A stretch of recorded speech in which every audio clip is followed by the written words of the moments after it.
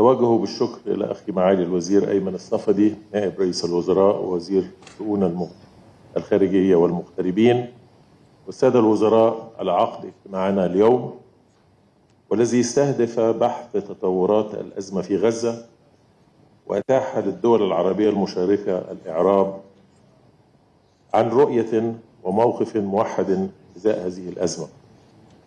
لقد حرصت خلال اللقاء على توضيح رؤية مصر المتوافقة مع رؤية أشقائها العرب في التعامل مع الأزمة وأكدت على ضرورة مراعاة عناصر عنصر الوقت في التعامل مع مستجداتها المتسارعة وإن أحداث القتل المؤسفة التي تشهدها غزة لا يمكن تبريرها وأننا لن نقبل الدخول في جدل لا طائل منه أو قبول محاولة تبرير هذه الممارسات المدانة باعتبارها إعمالا للحق الشرعي للدفاع عن النفس.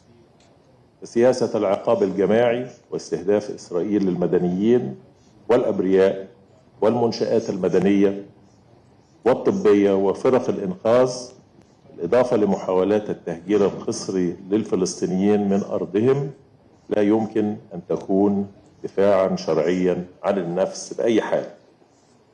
إن مصر تبذل كل ما في وسعها لضمان استقبال المساعدات وإدخالها وإدخالها إلى قطاع غزة وتقديم العون في علاج الجرحى المدنيين.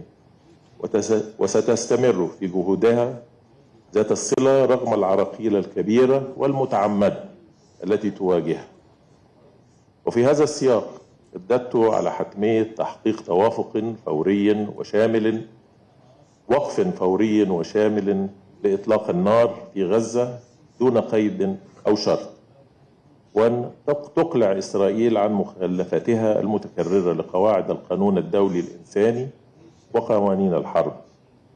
ومضاعفة العمل لتأمين نفاذ المساعدات الإنسانية بصورة مستدامة. وبالكميات التي تلبي احتياجات الشعب الفلسطيني الشقيق. وبما يفتح المجال للحديث لاحقا عن كيفية الخروج من هذه الأزمة وقبل أن تتسع دائرة العنف وامتداد الصراع ليطال أمن واستقرار سائر شعوب المنطقة ويدخلها في نفق مظلم كما أكدت خلال اجتماعنا على ضرورة الكف عن التعامل مع القضايا والأزمات التي تهدد السلم والأمن الدوليين بمعايير مزدوجة.